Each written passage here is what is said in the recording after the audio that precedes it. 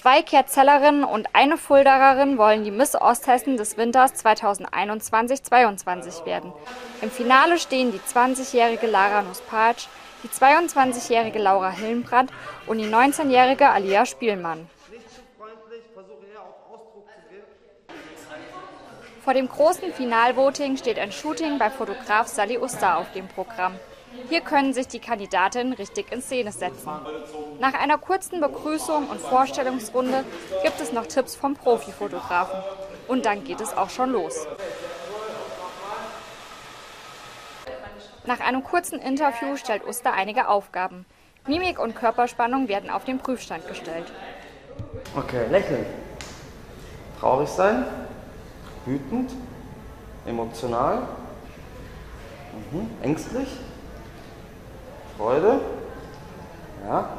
Erschrocken. Okay, sehr gut. Ähm, die Körperspannung noch mal ein bisschen. So wie eben. Genau, sehr cool. So, dann lächeln. Mhm. Traurig sein. Wütend. Ja, emotional.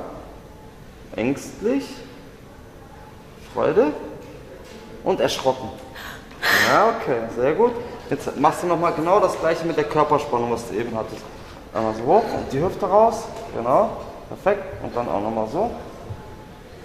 Gut. Lächeln. Traurig sein. Wütend. Mhm. Emotional. Ängstlich. Freude. Jawohl. Dann erschrocken. Okay. Jetzt kannst du das mit der Körperspannung machen.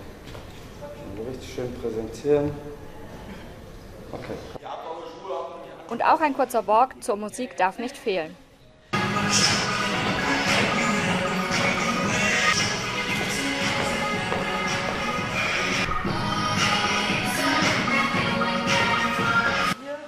Die Nervosität hat sich schnell gelegt, die Stimmung ist locker, hier haben alle Beteiligten viel Spaß.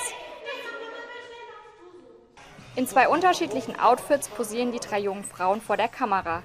Die Klamotten haben sie sich selbst ausgesucht. Ein Ausgeh-Outfit und eine sportliche Kombination sollten es sein. Jetzt sind wieder die Leser und die Jury gefragt. Die Abstimmung startet demnächst. 90 Prozent des Votings fließen in das Endergebnis ein. Die Jury packt auf eine Kandidatin nochmal 10 Prozent obendrauf. Und dann steht sie fest, die Miss Osthessen des Winters 2021-2022. So, dann machen wir mal ein bisschen